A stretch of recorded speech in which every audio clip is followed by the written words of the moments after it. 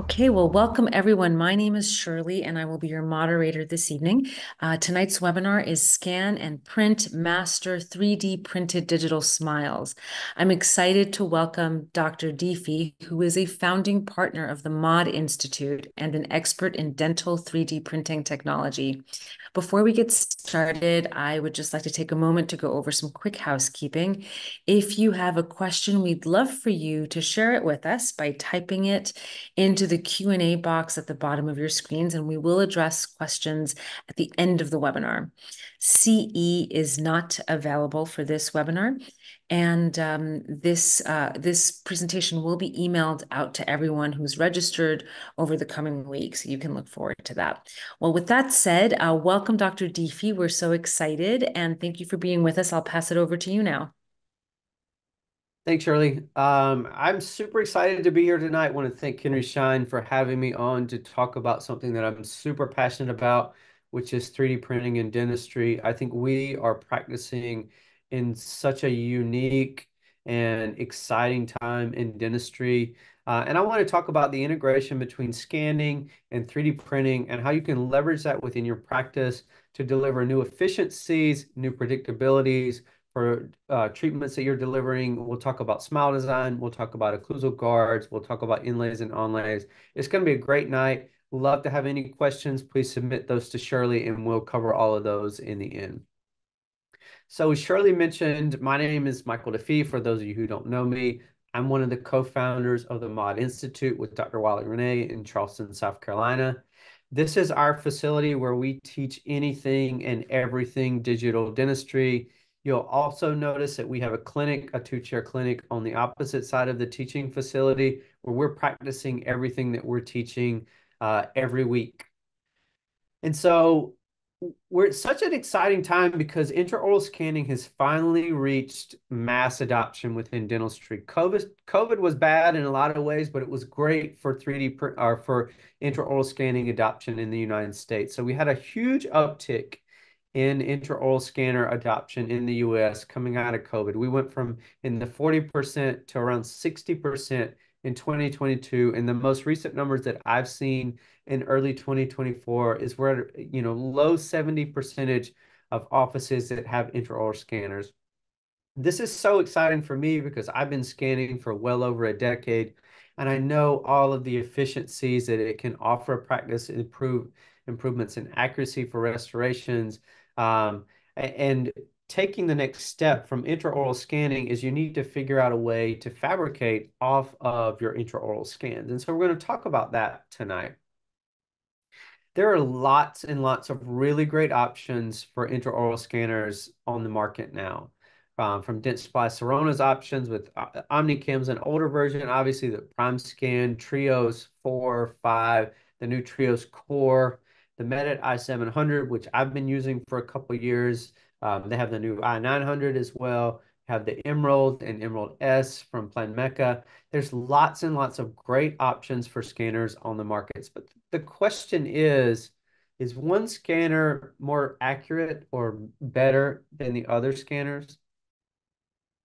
And so this is a great study that was done at my alma mater, MUSC, by Dr. Wally Renne, my partner, and a couple other uh, faculty there where they looked at probably the most accurate model for intraoral scanner accuracy, in my opinion, in extracted maxillas. Because a lot of scanner accuracy studies, they are using stone models and comparing accuracy for scanners over stone models. But if we think about scanners, scanners are basically cameras, right? And so do you think the light diffraction off of a stone model is different than it is off of an actual maxilla with teeth and tissue? Yeah, it absolutely is. And so that's what I love about this study is they used an actual real world model to test the accuracy of these scanners. And when you look, you can see Emerald S, the i700, the Prime, the Trios 4, the iTero, all within about 40 to 60 microns of accuracy, cross arch, palatal, um, and on the mandible, which is totally acceptable for accuracy within any type of dentistry that you want to do, especially when we look at comparing that to PVS, which is in about 37 to 40 microns of accuracy. you know, we know that intraoral scanning is there and it's reached what was considered the gold standard in the past in PVS or impressions. So we know we can take the step and be really assured of the accuracy that we're going to get. And so really when you look at scanners, there's a couple things that you need to think about now, knowing that the accuracy is essentially equivalent across one is the UI, which is the user interface. Two is maybe the coloration and the detail on the models, if that's something that's important to you. And so looking at this slide, this is four different scanners scanning the same arch um, at the same time. And so you can see the speed is roughly equal. Maybe the prime scan's a little bit faster, but the coloration is pretty lifelike on all of the models themselves. And so you know that all these scanners would be acceptable and usable within your practice and give you a result that would be clinically acceptable in any situation. And so I want to talk about a couple of the scanners that we use every day in our practice um, and that I'm going to show cases on later on in this presentation. And so the first one is the Prime Scan. And so the Prime Scan is a great scanner. Um, it's made by Dentsply Sirona.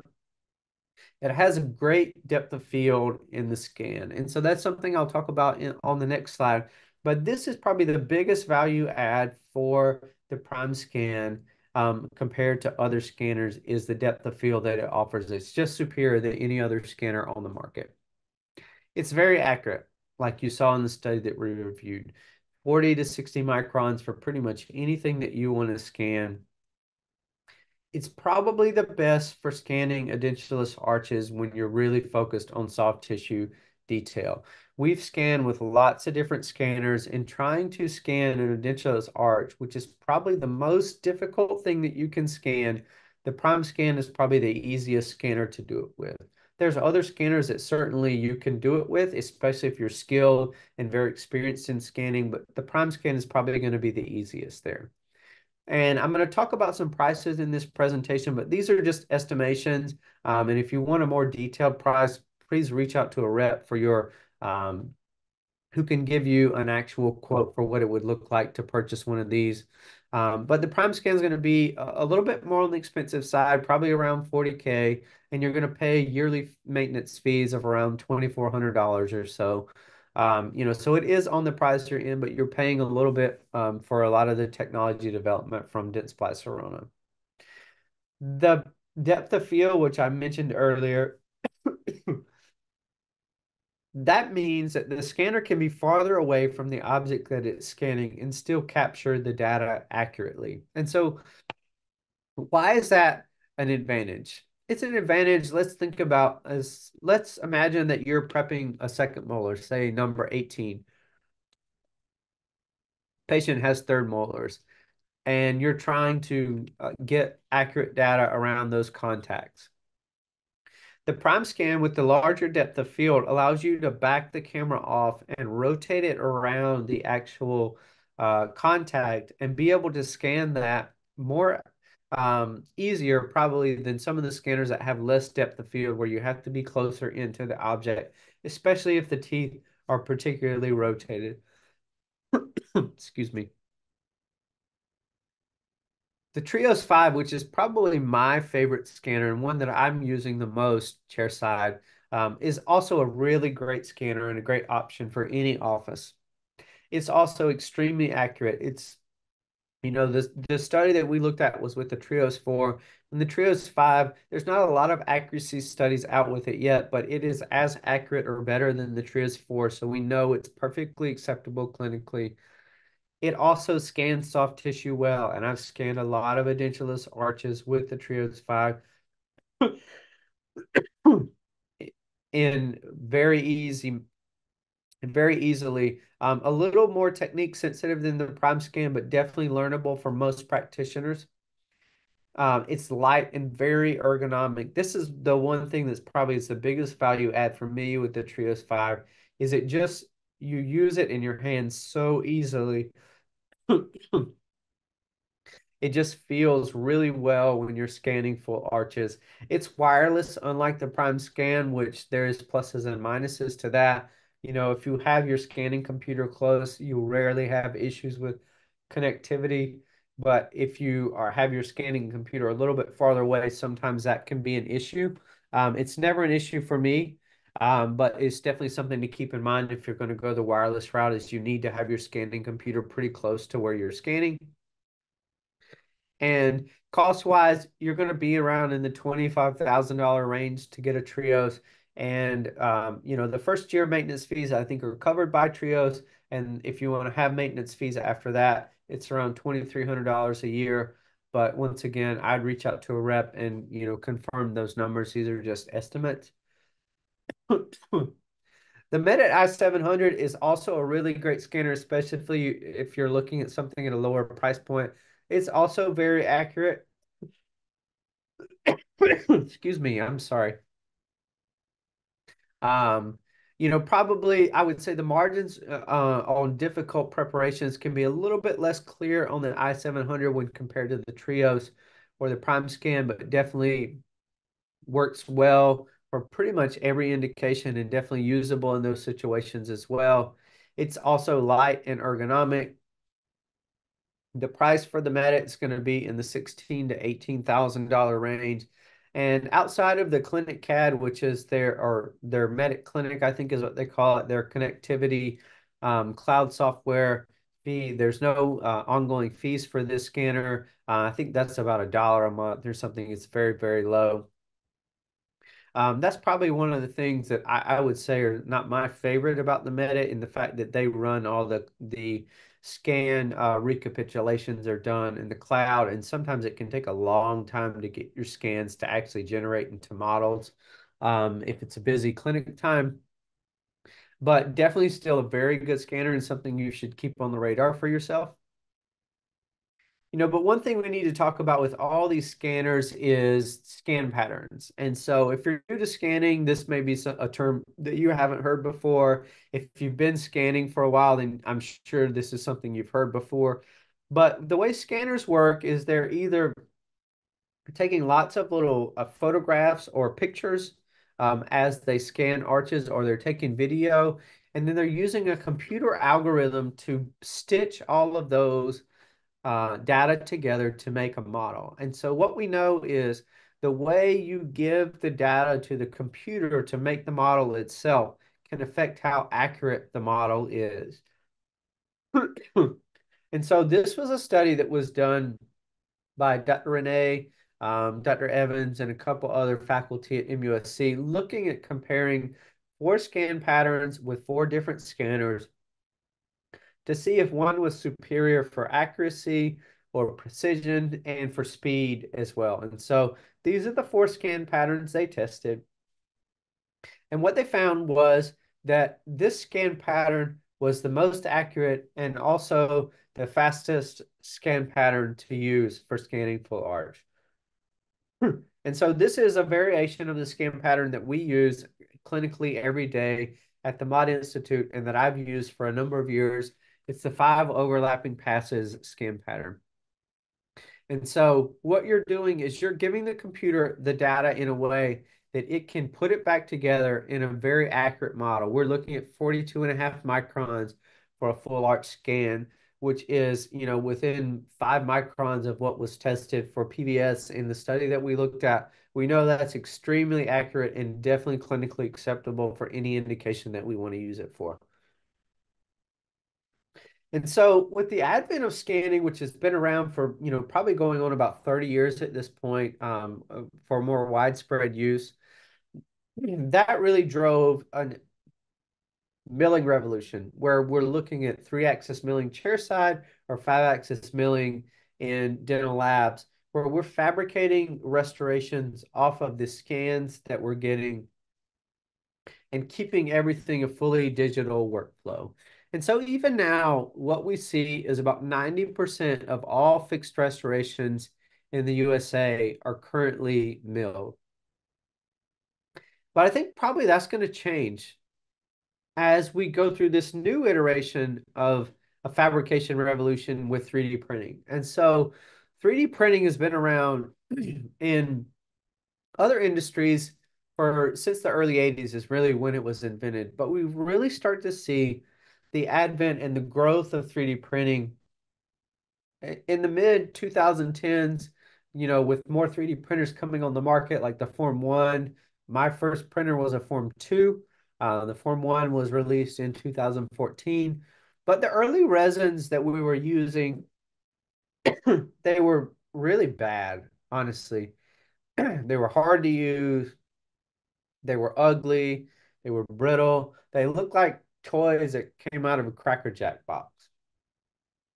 But the beautiful thing that we're experiencing now is there's a new resin revolution where we've got a lot of interest from a lot of companies in improving the resins that we're using to print to chairside print with SprintRay, with uh, PacDent, with Formlabs, all introducing new resins and releasing new resins that are more accurate, that are more aesthetic, that have better wear properties. It's just really a great time to be interested in 3D printing. And so one of the questions that I get often is what can I print? And I think probably a better question is what can I print? Because pretty much any indication you can think about in dentistry, you can integrate 3D printing in that indication. Veneers, inlays, onlays, crowns, dentures, bridges, occlusal guards, models, surgical guides, shell crowns, mock-ups, any number of things. And we'll talk about a few of those indications in this webinar tonight. And so I want to talk about a couple of the printers that I'm going to cover um, uses for in this uh, webinar, but there's a couple other good ones on the market as well. Uh, the Ackuretta Soul, which is the one on the far left of the screen. SprintRay's ecosystem, which is the white printer, is the Pro 55S, and their newest one is the Pro 2. Formlab's new offering is the Form 4 on the far right. Dentsply Sirona also has the Prime Print. Uh, Asiga is more of a lab printer, but it's also one that we have in our office and use. And so let's talk about a little bit of the differences in these printers and advantages uh, of one over the other. So the Ackuretta Soul, you know, so the cost that I have there is just an estimate, but it's for the full system of the printer, the wash, and the cure unit. And so whatever printer you decide is most appropriate for your uh, office, I really recommend buying the system because the system is what gets tested for the mechanical properties of the resins um, that are printed. So the printer, the wash, and especially the cure unit are really important to pair together because if you're using other cure units or nail boxes or people are curing 3D printed objects with all different kinds of things, you're not going to have the same mechanical properties. You're potentially going to have harmful pieces uh, within the resin that's not cured that you're putting in your patient's mouth, and we definitely don't want to be doing any of that. And so the Ackuretta Soul is a great little printer. Um, it has three different build plate sizes, large, medium, and small, which allows you to print at different speeds by focusing in the actual um, printing size. Uh, it can work really great for same day restorations as long as you're only doing a few. Um, when you get past doing more than about three or four restorations, the build plate size on the small plate is not large enough really to print there. And so then you're at the medium plate, which the plate's going to be, uh, it's going to slow down your speed quite a bit for that. Um, Ackuretta Soul is an open platform in that any resin manufacturer can validate their resin on Ackuretta, and then you can use it and you can print it on it. Um, the SprintRay system is a semi-closed system in that the majority of the resins that are validated on that uh, plat on their platform are SprintRay resins themselves. There are a few third-party resins that are validated on SprintRay's platform. they recently introduced a partnership with Ivoclar, which I'm super excited about. That Ivoclar is going to be developing resins for their platform. The Pro 55S is a projector-based uh, 3D printer on the left. It's a white one. It's their older platform. Um, and they have three different build plate sizes for that as well. The standard, the arch kit, and the crown kit, which like the Ackuretta, the different build plate sizes allow you to print at different speeds. Um, the Crown Kit, which is their speed plate, is probably about three three to four times the size of Ackuretta's smaller build plate. So doing larger cases with same day printing is a lot more uh, reachable for the Pro 55S than, um, than it is on the Ackuretta Soul. The Pro 2 is their newest printer where they switched the wavelength from 405 nanometer wavelength curing to 385 which will help a lot with accuracy because 385 uh, is a higher um, energy and it's going to allow the cure depth to improve and you need less photo initiators in the resins. So they're they're able to be a lot more accurate when you're cured at that wavelength um, the build plate obviously is very large you can see it in this photo they are introducing a smaller one to focus on speed with that but their newest one which is not released yet is the Midas is really going to be their speed printer. Um, outside of doing some beta testing for that, I'm excited to get the um, full release version and test on that. Formlab's newest printer is the Form 4, which is what we have pictured here. We have one of these in our office and have been um, really excited to use it. Formlabs has really focused on speed with this printer specifically. Um, Formlabs has always been known as an accurate printer, like I mentioned. I had a Form 2 as my first printer, uh, which was their second release. But they work on a SLA technology, which is where a laser traces out each layer of the print itself. And so the prints were very, very slow. Everything was a multi-hour print.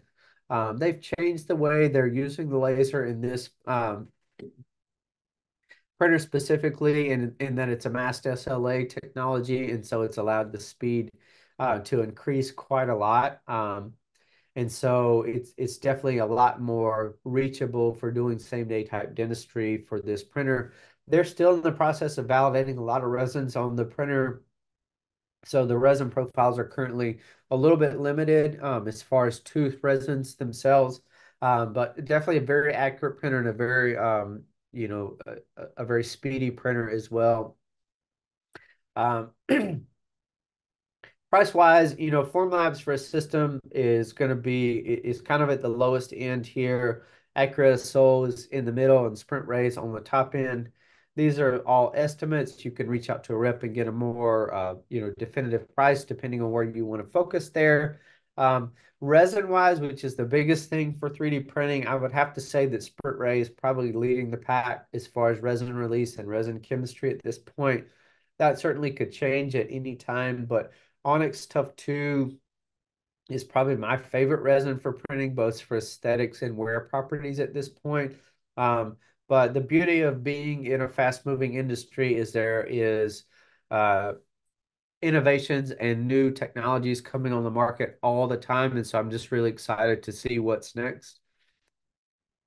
One cool thing about the Formlabs printer is the way that they deliver resin, which is a little bit different than both Ackuretta and the SprintRay, is they use an auto dispense model from their capsules. And so it makes it a little bit cleaner um, and a little bit uh, less messy to deliver and print from. Um, you know, certainly it's not a game changer, I would say, but it's a really nice feature where it pre-measures the resin that you need to do for your prints.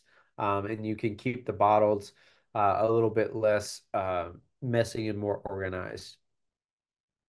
But the question is, how do we connect the dots, right? So we've got scans of preps or implant scan bodies or any number of things. And we've got printers, which make prosthetics. But how do we close the gap and connect those two together. And if you've been scanning for a while, this is probably like a really silly question for you, but the answer is really in design. and so there's a lot of options on the market for either software to design with, or you can use a lab. We are big Exocad users at the Mod Institute. I think it's the best software for advanced design. Um, I do all of my own design and so that's the software that I'm using for 90% of what I'm doing. 3Shape Design Studio is also a great software. Clinics is um, a more limited indication software that is a lot more approachable in price. I think MedicCAD is either very cheap or or free. I'm not completely sure. I, I haven't really used it. TruAbutment has the Trust software, which I have been using some for different things like implant crowns. Uh, I played a little bit with dentures and night guards. Theirs is also free, which is really nice. Um, but for advanced design, in my opinion, exocad is is pretty hard to beat at this point. Um, I'm going to talk about some design and show some videos of design in this webinar, um, but it's not going to really be focused on design. If you want to learn more about that, you probably should, uh, you know, come to one of our courses where we'll teach that or take one of our online courses. The other thing that we need to talk about with 3D printing that I see is one of the biggest frustrations and maybe the biggest misunderstandings with 3D printing, um, either for people who are coming from the milling world or they're new to, you know, fabrication at all, is nesting. And so nesting is the strategy for how you have your object oriented on the build plate and how these little points that you see in this photo uh, support tips support the print that you're building. So if we think about 3D printing, 3D printing is built by layers, right? So each layer is cured and builds on top of the other.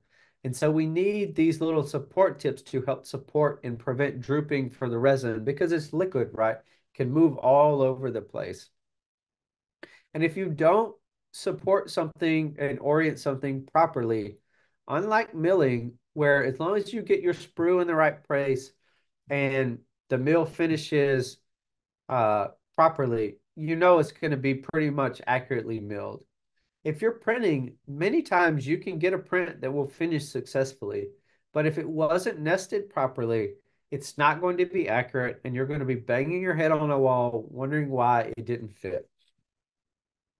We'll talk about some tips and tricks in this webinar for the different indications that we're going to go over.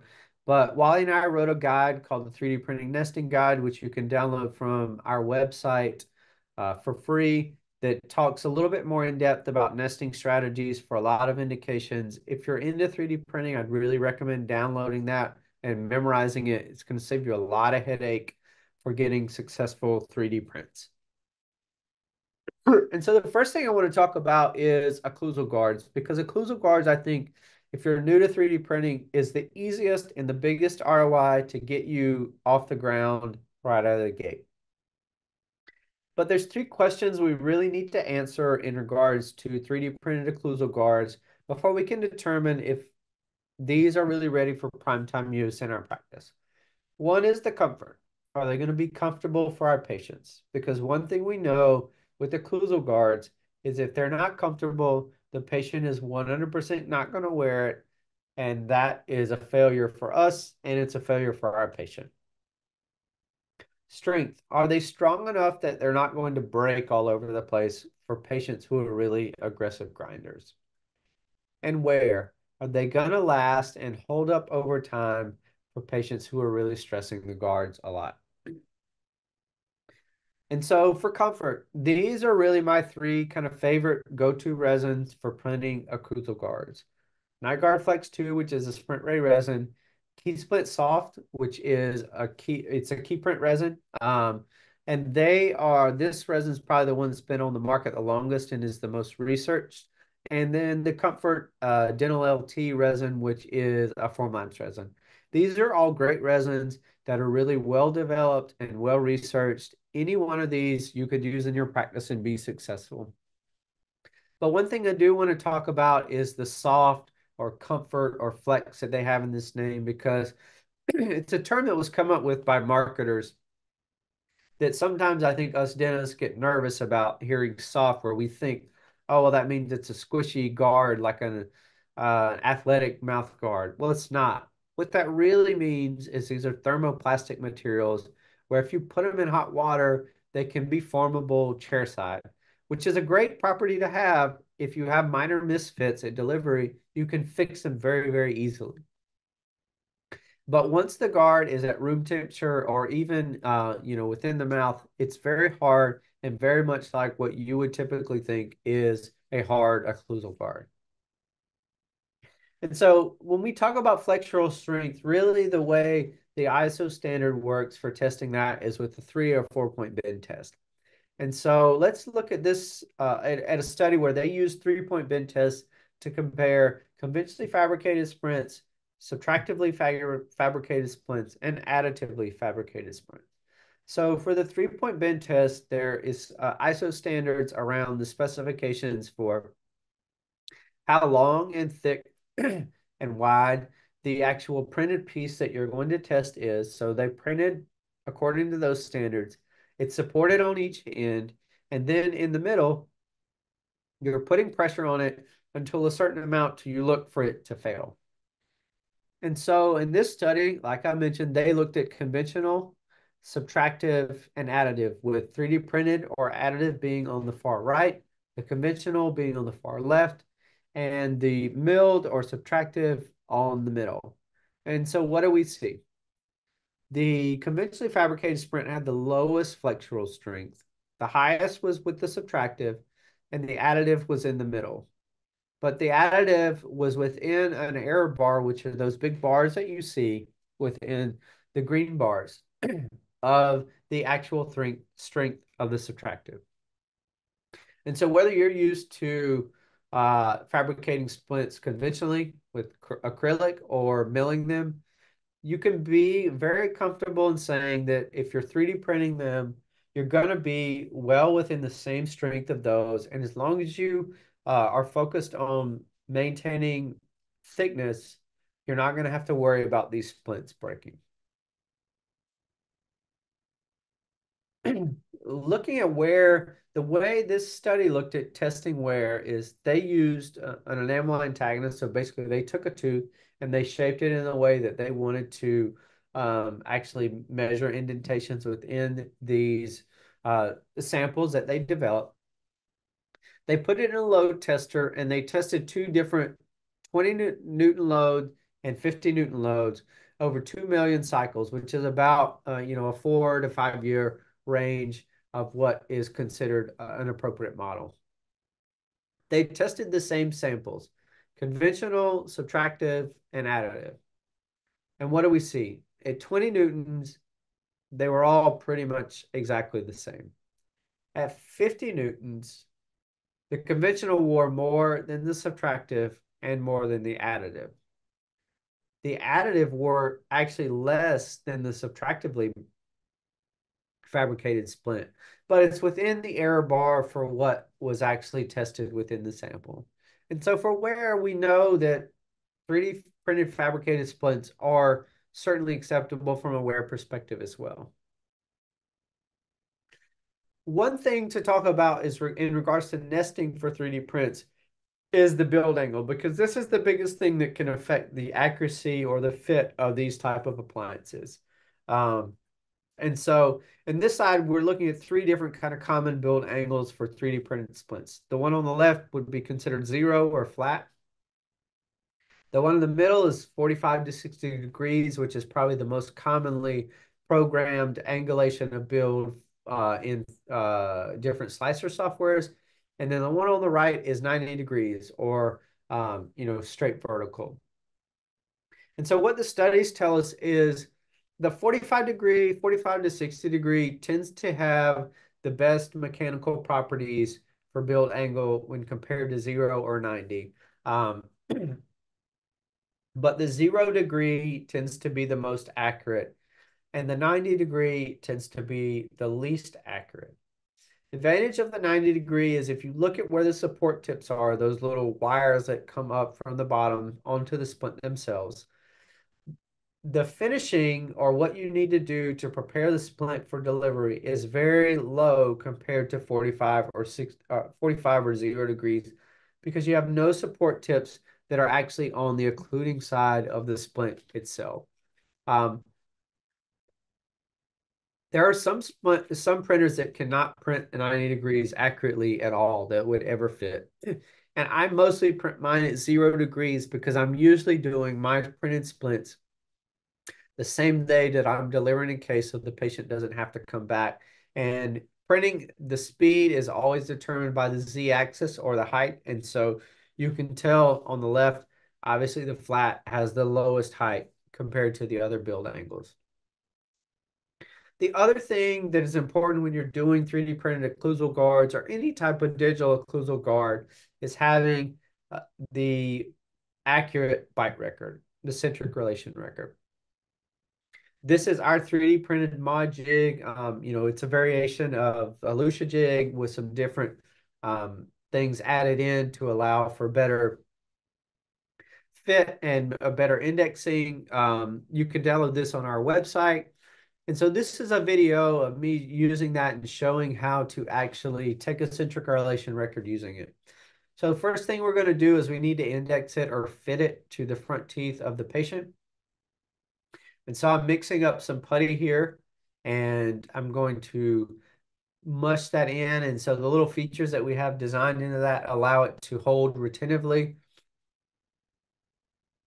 I'm going to place that in the patient's mouth and I'm going to spread the putty out to make sure I get good stability.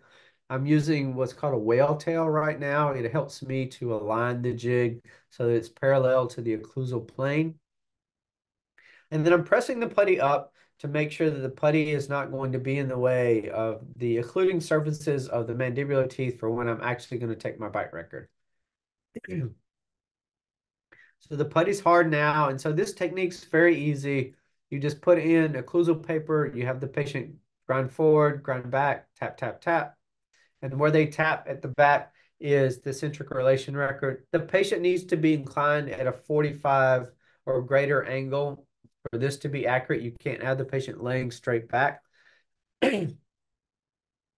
Once you have your mark, then the other thing that is really nice about this, because it's 3D printed, is you can bond composite directly to it. So after you check that you have your mark indexed uh, appropriately, I'm using a little, I'm going to use a little bonding agent that has MDP in it um, because that will help to bond to the printed material. And then I'm going to use composite to index or hold the position that I want my bite record to be taking at so that once I start scanning, the patient can't start moving around uh, when I'm scanning and I know that I'll have an actual accurate bite record for what I'm trying to do. And so then I'm going to get that get her guided back into the position. I'm going to press that up against the teeth and I'm going to cure it.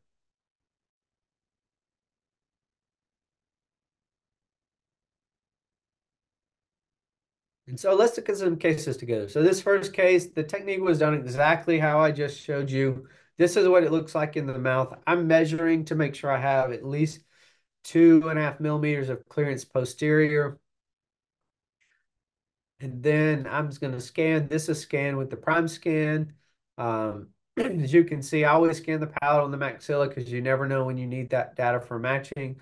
Um, but very fast and uh, easy to do there. This is probably about a three to four minute scan for both arches and the bite.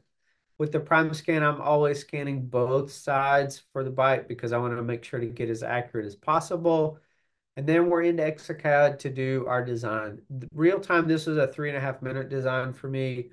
Uh, you know, it's obviously sped up a little bit because you guys don't want to see me design for three and a half minutes. But this is what's happening when you're doing uh, sending off for a flat plane night guard to any lab or any AI service uh, it's definitely you can do it faster yourself than you can upload your files to those services. This is what our final design looked like. There we have printed. This is printed out of Comfort LT resin in the Formlabs printer. It's about 35 minutes to print this uh, occlusal guard. And there we have delivered perfect fit. Occlusion is pretty much perfectly what I designed it with. Um, super, super predictable, super, super easy. You should be able to do these with almost no adjustments chairside if you follow this type of workflow. This is another case. This was actually an all-on-X case for me. Um, patient was an extensive grinder. You can see a lot of the wear facets on her teeth. So we made an occlusal splint the same day that I delivered the all-on-X prosthetic. You can see index to the mandibular teeth like I showed in the instruction video. This is our scanning. This was done with the Trios. Um, also a very fast scanner, very easy to use. Um, with the All-on-X, you know, it's a little bit more tricky and it's not dentate because you have to connect the tissue to the prosthetic or the software might start trying to start deleting that. Um, you know, here we are scanning the lower arch. I love uh, the fact about the trios in that it allows you to scan two bites, um, making sure that things are very, very accurate with your bites. Um, so we're going to scan both sides for our bites, and it's going to register them at two different bites.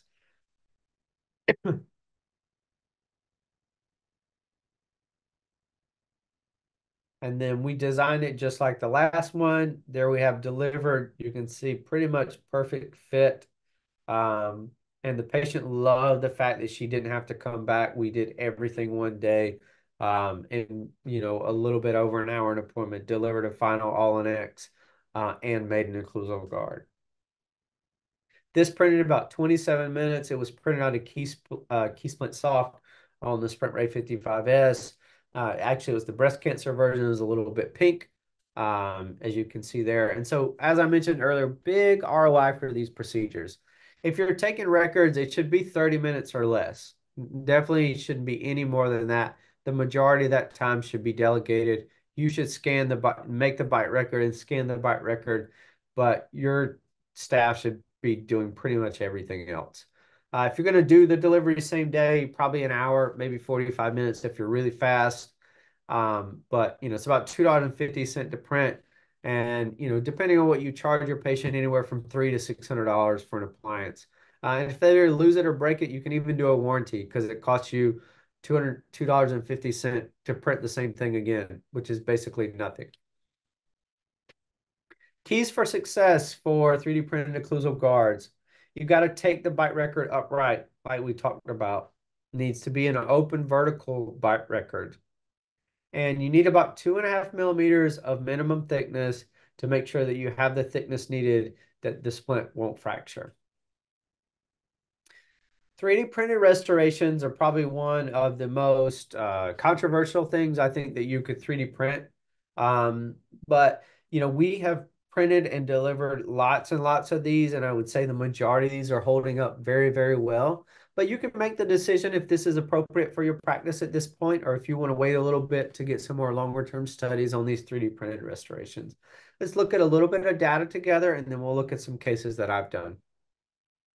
You know, so for 3D printed restorations compared to direct composites to compared to milled resin ceramics, the base chemistry is the same. There's nothing really new or revolutionary about this other than the fact that we're fabricating it in a little bit of a different manner. So it's not anything like totally different for your practice itself. It's a chemistry that you should be very familiar with for your restorative materials. And in 2013, uh, the CDT code was changed to allow milled restorations with more than 50% ceramic or inorganic filler particles to be billed as ceramic. And so many of you probably have been delivering milled ceramic, milled resin ceramic restorations for maybe close to a decade at this point, and it probably had pretty good success. This is a study from Dennis Fasbinder um, looking at five uh, year follow-up for some milled resin ceramic restoration. And look, you know, A is day of, B is one, C is three, D is five year. It's holding up pretty well. I mean, I would consider that acceptable for pretty much any restoration. This was a, a systematic review and meta-analysis where they compared five-year um, success rates for ceramics, for hybrids, which are resin ceramics, and for composites. And they found that the hybrids or the resin ceramics, which is analogous to what we're 3D printing, had the same clinical success as the ceramics themselves. And so as part of that literature base, the CDT code change uh, was changed in January of 2023 to say that 3D printed restorations, like milled restorations, if they contain over 50% inorganic filler, they can be coded as ceramic. And so that's why you've seen a lot of the manufacturers focus on getting uh, resins that are more than 50% filled, and you've seen a big push and kind of interest in doing these type of restorations. And so I would say the early studies are pretty promising. This is a study done by Zimmerman 2019 where they looked at comparing 3D printed to V-Dynamic to Emax CAD for flexural strength. And so what they found was that the 3D printed was as strong or stronger than Emax, which is pretty surprising, right? I've delivered thousands of Emax restorations, and you probably have as well. It's a great restorative material. But to see that the 3D printed is as strong and I don't really have to worry about fracture, it's definitely very, very uh, reassuring to me. And so we talk about nesting these type of inlays and onlays, which is the most common way that I'm 3D printing uh, permanent restoratives. Um, there's a couple of things that we have to think about. One, you obviously always want the fitting surface focused up. You don't want to be finishing with support tips on the fitting surface of your restoration. And number two, you need to have support tips certainly around all the edges of the restoration. Um, and if you have, uh, you know, more flat areas within the occlusal grooves, you want to have support tips there. But if it's at about a 40 to 45 degree angle, then you could probably could do without support tips. Um, but you can check out our guide and, you know, look at a little bit more detailed instruction on nesting those. And so this is one of my cases. You can see really large composite restoration in this patient. Um, there is a non-adaptable contact right there, which has caused a fracture on the distal marginal ridge, and now the patient has got some recurrent decay. And so the cool thing about Trios, and PrimeScan has this, a couple other scanners do as well, is you can scan a pre-op and then you can scan your just your prep once the prep is done and it will fit the prep to that scan and so you can scan your bite record pre-op before the patient's numb while they're setting up and getting them and get the most accurate bite record possible And so, why is that important? So, this study looked at the influence of di different dental chair backrest inclination positions to see if it affected the bite records at all. And so, what they found was they tested basically completely flat, which is 180, 120, which I would say is about a 45 degree angle, or 90, which is straight up. Going from completely laid back to completely set up, the, the position of the mandibular anterior teeth moved a millimeter and a half. Going from 45 degrees to straight up, they moved about a half millimeter. So you, are most of you probably doing your bite records after you've done preparations with the patient completely laid back in the chair? Probably. I know I was for a long time. And that's probably one of the reasons why I always had problems with occlusion when I was doing my bite records like that, always making adjustments. And so it's an important thing to think about and to know if you want to be successful and do these efficiently to take your bite records like that. So for this patient, this is the prep that's completely done. And so this is what I talked about. We're, here we are just scanning the prep, making sure we get all our margin, all our line angles, all our contacts really, really well.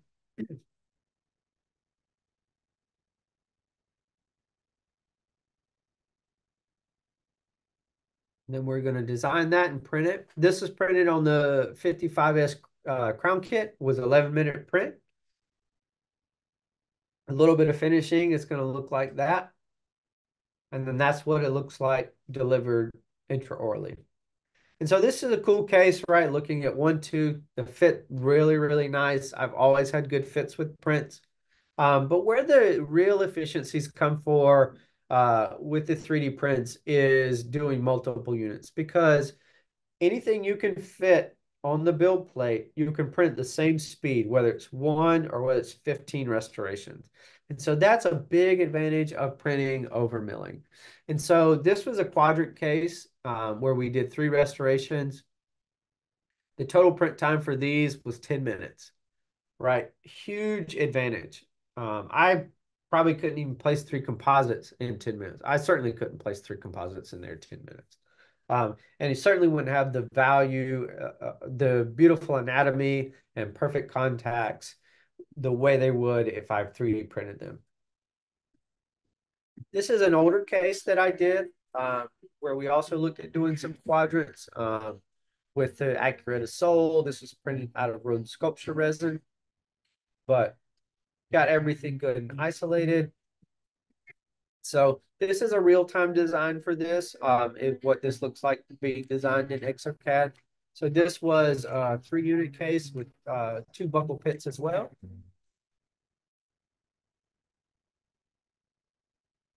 And, you know, I love design. I'm very passionate about it. I realize that maybe it's not your, uh, it doesn't fit within your practice workflow, and I think that's totally fine. But I think you need to understand what's involved in these processes so you know what you need to send to your lab or to your designer to get the most accurate result back so that you're going to be able to do clinical workflows predictably and accurately and work really well for your practice.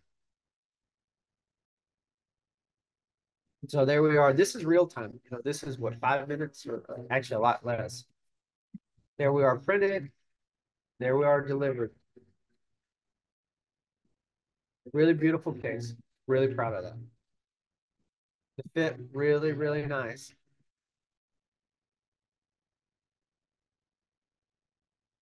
So the ROI for this can be huge, just depending on how many units you're doing. But you know, for a quadrant, I would say you should be able to probably do that in about 60 minutes, de depending on how fast you prep. But once you prep and maybe you scan or maybe your staff scans, you should be walking out of the room and they should be designing, printing, getting everything ready for you to come back in, cement those. Um, it costs about two and a half dollars to print three to four units, um, and your cost to the patient anywhere from six hundred to a thousand dollars. I think whatever you think is appropriate or whatever your contracted fee is. but definitely a big value add for your practice.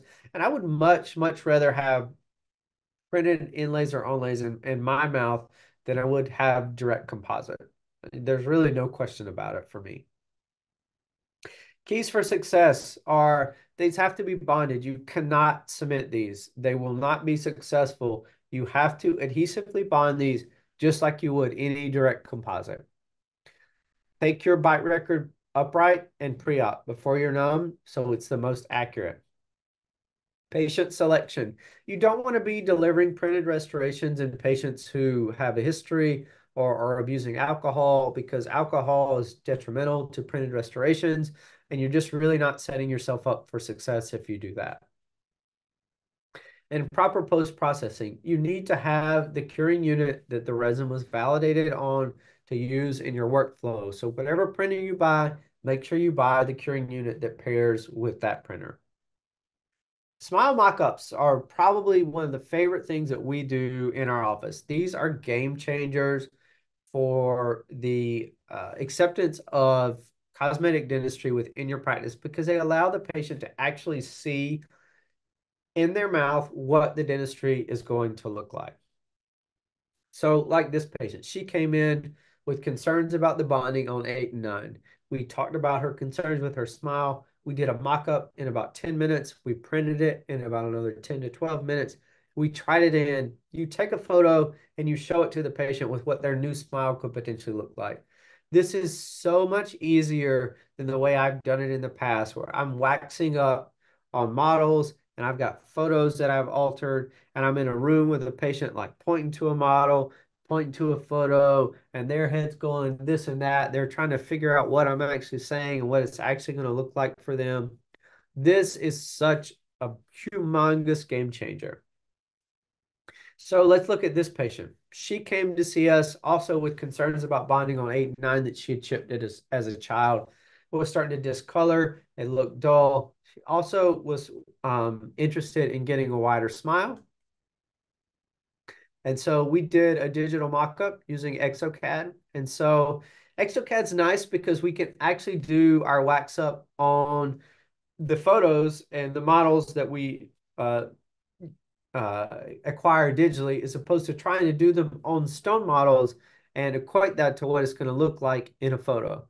And so that is really the beauty for me of doing digital wax up and how it's really changed the way that I think about cosmetic dentistry as far as putting teeth in the proper place and knowing that the wax up is going to look as good on the model as it is when I deliver it in real life.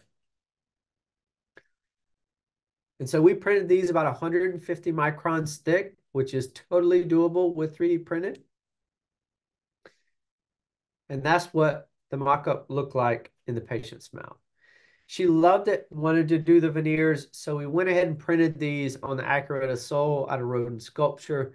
This was about a 51 minute print for these 10 veneers.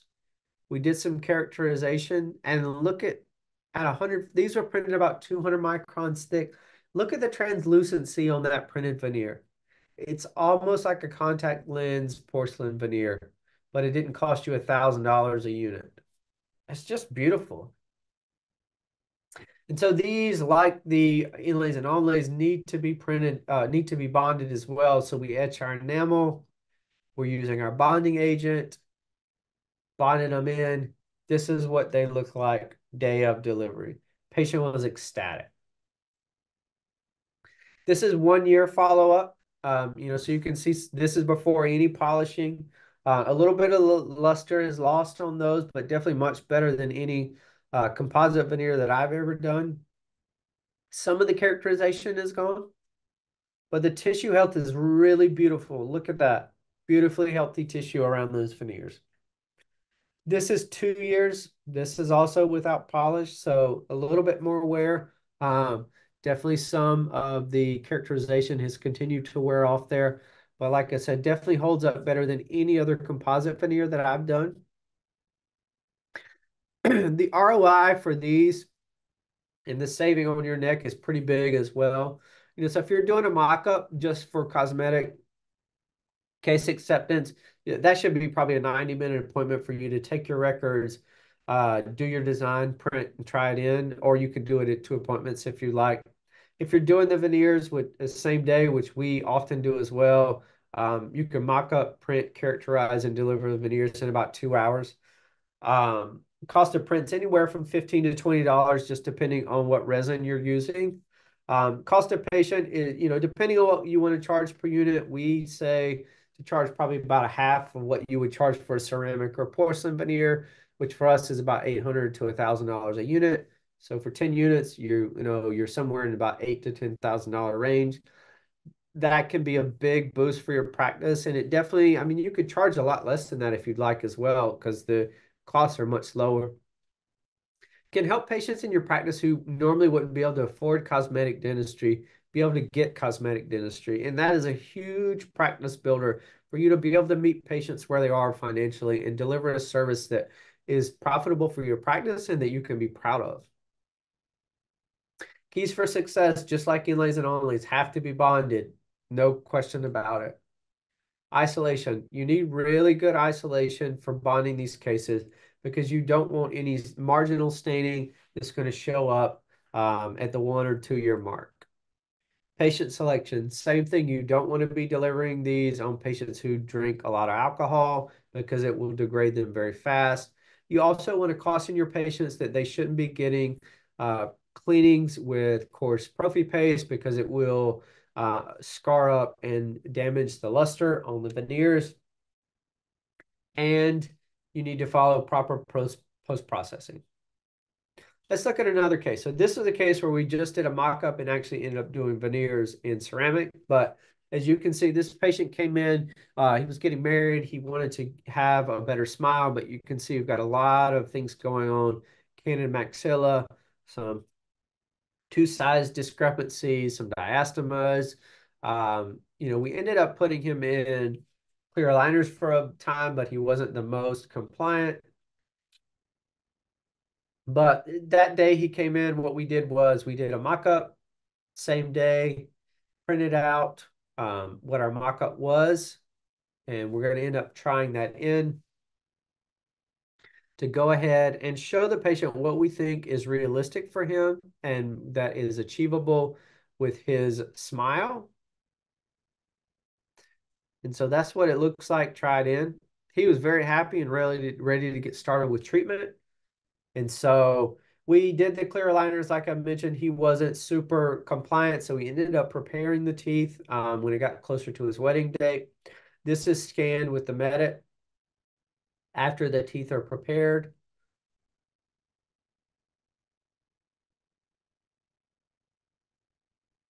And then the beauty of doing digital mock-ups is you can save a lot of the orientation in the mock-up that you do initially if you're doing final restorative work and use that as a guide or even a direct copy if you want um, for moving forward with the final designs.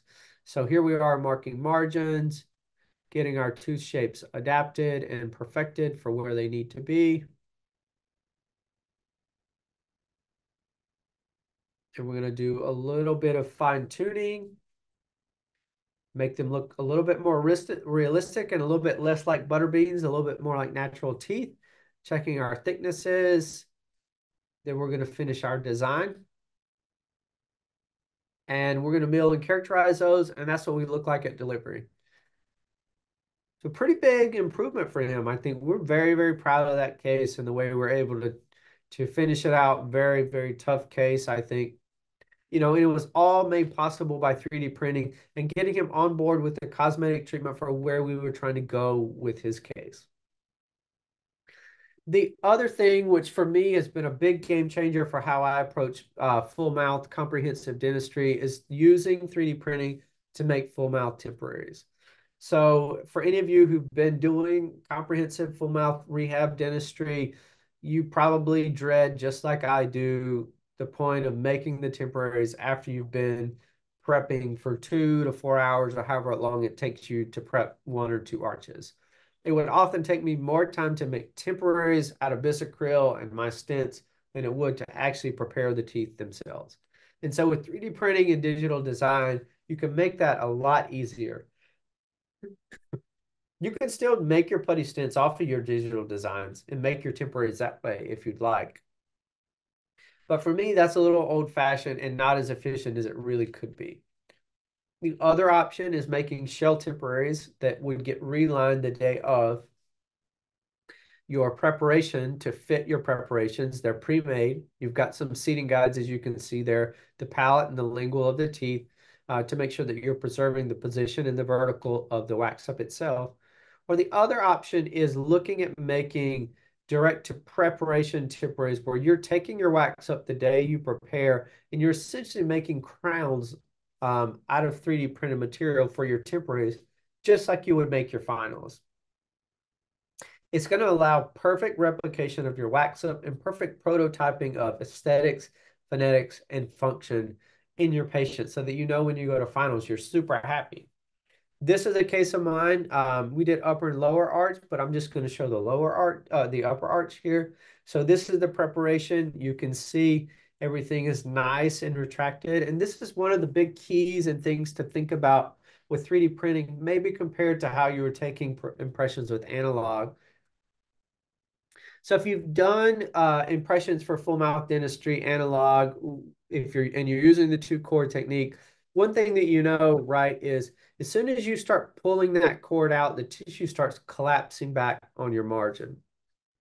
So as you're pulling your top cord, your your assistant is in there squirting impression material around those margins so it doesn't collapse back and occlude it.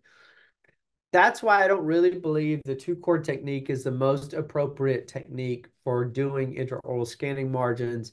I also don't think CompreCap and some of those other, um, you know, aluminum chloride type techniques work as well either. Typically what I'm doing is I'm packing a cord and I'm leaving it in place for scanning so that I know the tissue won't rebound. Because really what you need is you need vertical, you need tissue retracted below the margin and horizontal, you need tissue retract, uh, retracted away from the margin to get really nice scans so it'll be very easy for you to mark margins or your lab and they won't hate you because they're spending three hours trying to find your margins. Then you can print your temporaries. These were printed on the SprintRay Pro 55S and characterized a little bit. And this is the beauty of this type of workflow where you're just dropping these in. You're not doing any adjustments. The bite's perfect. The aesthetics are perfect. The phonetics are perfect. It's so easy to deliver these temporaries. I could never go back to making Bisacryl temporaries again. This is what they look like fully delivered, upper and lower, after a month. And we ended up finishing this case in zirconia, and that's what our finals look like for the upper. Keys for success with this type of workflow. You have to have an accurate design that is realistic for you to prep to, and then you need to prep to that using some type of preparation guide. Um, retraction, like we talked about, you really need to retract the tissue away and get a very good scan. And proper post-processing, just like anything else, you need the cure unit that goes with your actual printer. If you want to learn more details about some of the workflows that I've talked about in this talk, um, come join us for some of our classes. So Occlusion Track is what I teach. We're basically focused on full mouth dentistry, digital design, and 3D printing. Um, the 3D printing track is one that Wally and I teach that's focused on all the applications of 3D printing that you can use in your office and some of the super exciting things like veneers and mock-ups that really can change the way that you do dentistry this is my team, and I certainly wouldn't be as successful or uh, as sane or as happy as I am without them. And so I definitely want to shout out them. Um, you know, it's just going to work with a great team is something that really cannot be undervalued, I don't think. And I'm just very, very thankful for having a great team behind me. This is how you can get in touch with me. If you find that you have questions later on, follow me on social. Uh, that's probably the fastest and easiest way to get in touch with me or there's my email. You can certainly email me questions as well. Just want to thank Henry Schein again for having me for this webinar so that I could share some of the super exciting things that we're doing in our practice. And now I think we're going to spend some time taking some of the questions that you guys may have had from the presentation, but thank you again.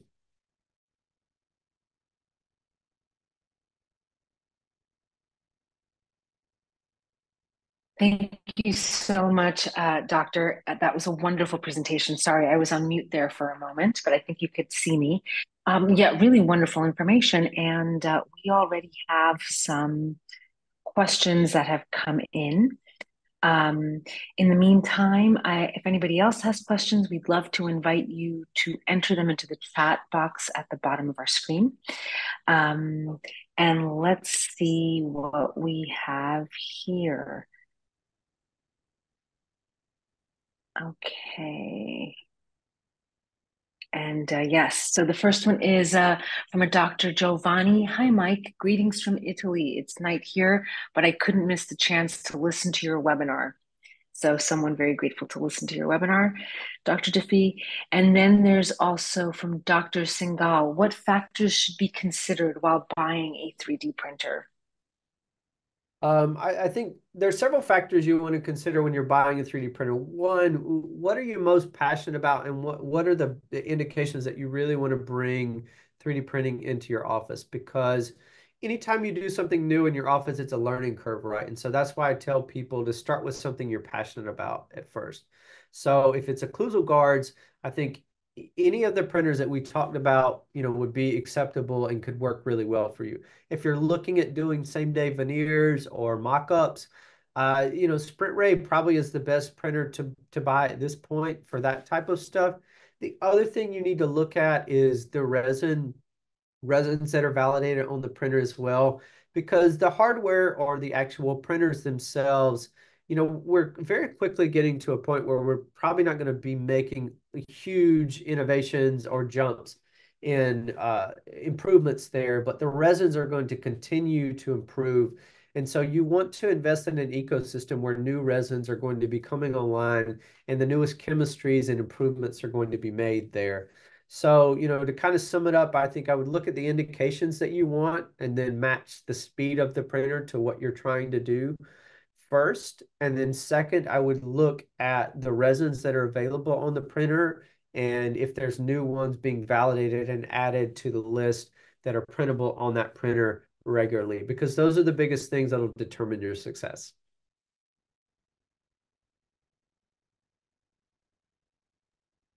Thank you, Doctor. This next question from Dr. Mayank Kakar is Formlab is the Formlab printer an open system? It's a semi-open system currently. I, I know there's um, it, it's interesting. I saw an advertisement. I haven't had time to follow up that they were going to be opening up to a lot more third-party resins on the Formlab systems. But for now, I would not call it an open system, no. Okay, and this uh, next question from Dr. Matt Klein. Please list SprintRay materials for all types of prints. I guess they're asking if that's a that's a long list, but I'll try to do it. That's a long list. the, their 50 plus percent filled resin is currently ceramic crown. Um, OnX Tough 2 is their aesthetic resin and what we use a lot for veneers and for mock-ups. For denture base, they have Apex denture base. For denture tooth, they have Apex denture tooth. For night guards, they have uh, Night Guard Flex 2. For model, they have Stone Model and Dine Model 2. Um, that's probably the only ones that I have ever actually used in practice. I'm certain they have others. Um, I use OnX Tough 2 for all my All on X prosthetics and for my full mouth temporaries as well. Um, I think if you're using those, you probably don't need any other ones. But I know they have other ones in their profile. I just don't use them regularly or know them right offhand. Thank you, Doctor. Uh, oh, this other one from Dr. Matt Klein. How often do you change your al alcohol in your wash step? Um, so for the SprintRay uh, system, they have a uh, they use a specific gravity meter in, within the the Pro Wash that tells you when you need to change it. We print a lot, so honestly, we're ending up changing probably once a week or more often. Um, but if you're using the SprintRay Pro Wash, then it, it should tell you when you need to change. Um, when you do change, though, you need to make sure, especially if you're printing with a lot of the uh, more filled resins like OnX Tough 2, uh, ceramic crown's not supposed to be washed in the uh, Pro Wash, but some of the other ones also have ceramic particles. You need to clean all of that out of your um, your uh, alcohol reservoirs so that it, it's not contaminating the way the specific gravity gets measured. So make sure you like scrub the bottom of it um, to make sure you're getting the most uh, lifespan out of the alcohol itself. Okay, this next question. Can an immediate provisional all on X be printed with SprintRay Pro 95s? Same day as surgery? And are photogrammetry dongles required? I have Trios 3, Itero 5D Plus PrimeScan. Um, if you're trying to print same day, then you need some way to convert, right? So you need to take your wax up and adapt it to where your implant locations are. Um, it's very hard to, to use an intraoral scanner to, to do a scan same day uh, accurately for a number of reasons, because there's blood everywhere.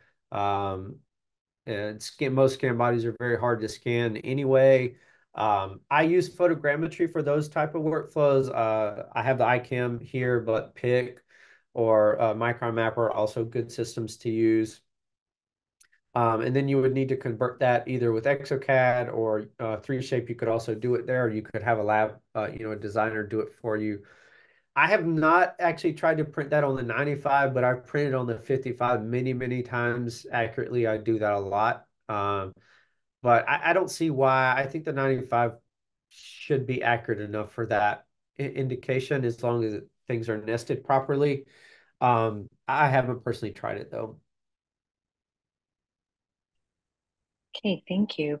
Um, Dr. Keith Kennedy just a comment here. Uh, he just got done with patients and would like to watch this presentation. Is the recording? Is there a recording I can watch? Yes, Dr. Kennedy. We will. We are recording tonight's presentation, and we will be sending it out uh, to everyone who's registered here over the coming week. So you will be receiving a copy of this recording.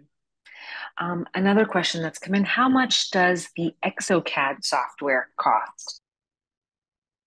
Um, that's distributor dependent. Um, and they also sell different modules depending on if you're trying to get a full suite or just focus on specific things. Um, I don't am not close enough to those prices to know if you're going to buy everything, which is what we use. It's called the you know the ultimate license, which has every module that the software has. It's like twelve thousand dollars or so, but you can certainly get into exocad at a much lower price, but I'd recommend reaching out to a distributor. Um, I don't know if Henry uh, Henry Schein doesn't distribute exocad. Is that right? Um, I'm not aware that they don't. Um, we, but this is a question we can ask and get back to get back to um, you and Dr. Kekar.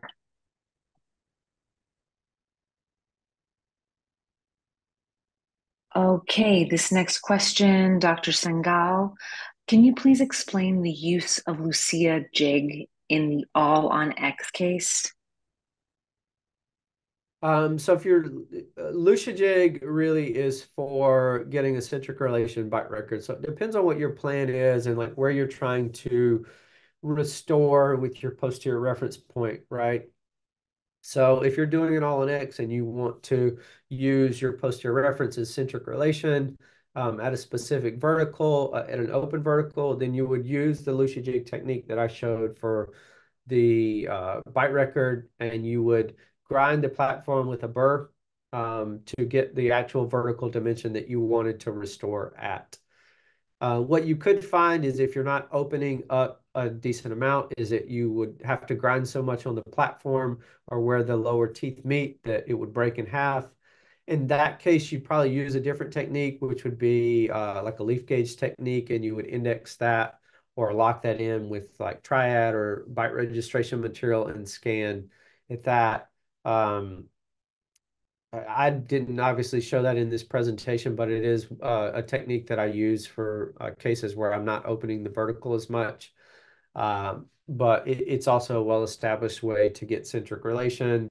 Um, and that's kind of how you would use that for your all-on-X planning. And then you would do your scans, upper and lower arch at the vertical that you want with that centric relation record, wax up to it, and then that would be what you would use for your restorative uh, wax up. Thanks, Dr. DeFee. And here uh, is another question in terms of how you bill. Do you bill as inlay onlay, or is there a separate code for the 3D printed inlay onlay? It depends on what material you're using. Um, we're a fee for service practice, um, so we we're if you're billing as uh, if you're doing an out of SprintRay ceramic crown or Rodin Sculpture two, uh, which are more highly filled resins, and you would bill it as a resin ceramic uh, inlay onlay, depending on the surfaces, obviously.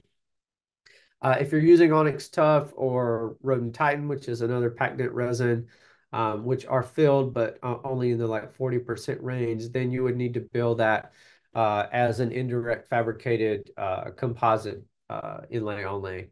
I, don't know those CDT numbers offhand, but that, that's how you would bill that. Thank you, Doctor. This next question from Dr. Alt. What are you using for temporary delivery? Bonding and luting cement? Um, for full arch cases, uh, when I'm delivering full arch of temporaries, I'm typically making those in sextants or, you know, posterior segments and anterior segments. Um, and so I typically use a resin-based cement. Uh, Temrex makes a good one, or you can use uh, what you would use for a permanent based resin cement. Just don't do etch and bond. I want something that's going to be sealed really tightly because um, usually for full arch cases, I'm going to leave the patient in temporaries for a minimum of one to two months to make sure that the function is fully uh, equilibrated. They're not going to have problems. The temporaries are going to stay on. So I know that everything's really perfect for how it needs to be. And so I want the margins really sealed perfectly. Uh, you could use temporary cements as well. Um, what I would worry about that is that if, especially if you're going to use the leave them in temporaries for longer, is that you'll get marginal leakage, and you know it would potentially, if the preparations are closer to the pulp, you could have pulpal pathology, or you could get recurrent decay if the patient's diet is not great, um, even over a short period of time. But for me, I, I use resin-based uh, dual cure cement. Um, Temrex, like I said, or I use Ivoclar's uh, Variolink uh, as well uh, a lot for those type of cases. Um, so it's it's locked in there more like a permanent. So I'm actually fully fully prototyping like I would for my finals with the same cement. The material is just different than what the finals would be. Doctor. This next question from Dr. Reeb. What, oh, sorry, uh, from Dr. Klein. Do you have experience with using XNAV? Does it include photogrammetry? I do not have the experience with XNAV. I am pretty sure they do have photogrammetry with that system now, though. Great. And this last question from Dr. Justin Reeb. What resins do you recommend for spider partials and flippers? Um, for partials and flippers, we're typically doing those out of OnX Tough 2. Um, if we're on SprintRay system, if you're on another open system that doesn't have SprintRay resins, then I would recommend Rodin Titan for those. Okay, wonderful. Well, with that, uh, that is the end. Uh, that that is our last question. So, um, Doctor, thank you so much again, uh, Dr. DeFee, for leading this really wonderful presentation. And thank you all for joining us. We did record tonight's webinar, as I said at the top of the hour, and we will be emailing the recording out sometime in the next week. We'd also appreciate your feedback via our survey that's going to pop up on your screens shortly. Thank you all for joining us, and we look forward to seeing you on future webinars. Thank you so much, Dr. DeFee. That was really great. All right, thanks. Thanks everyone. Have a wonderful night. Really great to spend the night with you guys. Thank you.